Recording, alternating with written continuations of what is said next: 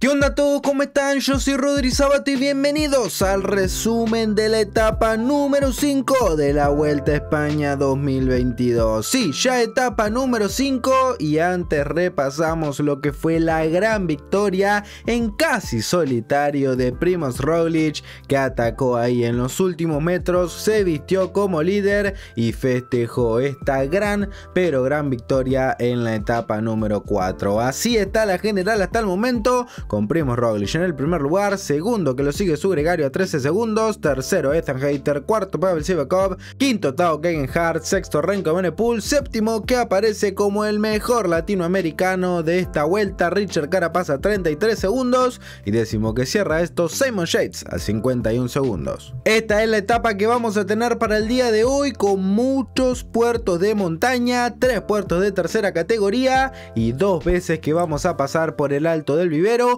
donde la última vez que vamos a pasar va a tener una bonificación. 187 kilómetros por delante. Y ahora sí, arrancamos con todo esto. Porque la verdad que tuvimos una etapa bastante, bastante rara para que se consolide la fuga. Después la verdad que estuvo bastante, bastante buena. Porque el que arrancaba con todo esto o el que era el principal motor de la fuga del día de hoy era Mark Soler. También estaba Alessandro de Marchi, pero Mark Soler a unos 90 kilómetros, es verdad, tardamos en que se forme la fuga. A unos 90 kilómetros estábamos con ya 18 corredores a 2 minutos y 50 segundos. Los del Jumbo Visma, no sé, se reían, sabían que por ahí era un día tranquilo para ellos, porque van a dejar que los de la fuga tomen bastante tiempo y se dejen ir para que algunos de los que estén cabeza de carrera tomen el liderato, y ahí estaban ellos. Entre ellos un latinoamericano del día, que es Johnny Caicedo, que tenemos que nombrarlo sí o sí. También había otros corredores muy importantes, pero bueno, siempre que hay un latino lo tenemos que nombrar. 68 kilómetros y ya sacaba más de 4 minutos de diferencia. Sabían que esto iba a ser bastante importante para ellos porque además de agarrar el liderato,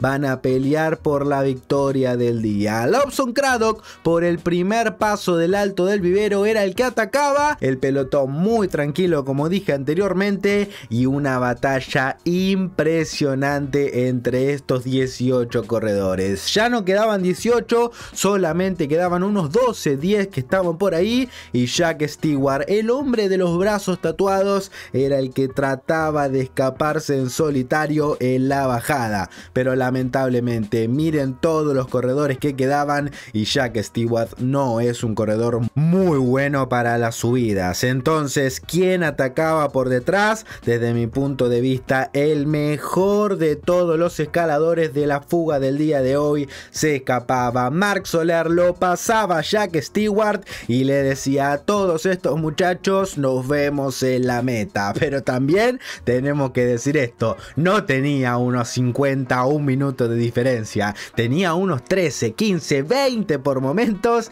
y la cosa va a estar muy pero muy apretada. Un final de infarto, pero se lo merece con todas las letras el gran trabajo que hizo el español luego de 124 días que España no ganaba una etapa en una gran vuelta, celebra Mark Soler atacando desde lejos, jugándosela y contra 10 ciclistas por detrás que lo venían persiguiendo, igualmente se llevó esta gran etapa. Muy bien por el español, muy bien por el UAE, termina esto con un nuevo líder, un pelotón bastante tranquilo, esperando el primer final en alto de mañana.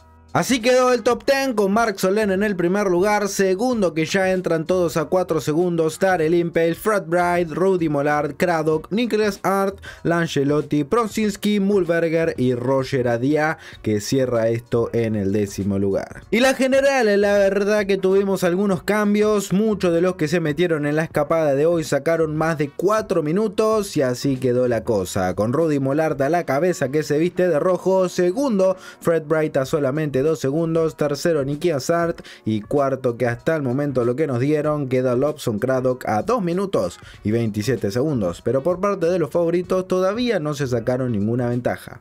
Y así que nada, con mi croma verde de fondo les quiero avisar que se terminó esta etapa número 5, pero mañana no, no, no, no, no. Miren lo que vamos a tener en el día de mañana. Se viene un etapón que quiero que estén muy, pero muy atentos. Me dicen acá abajo en los comentarios quién va a ser el favorito para el día de mañana. Y nosotros nos vemos con otro resumen o con otro directo hoy a la noche para hablar de todo. Chau, yo soy Rodri Sabato. Nosotros nos vemos en otro video.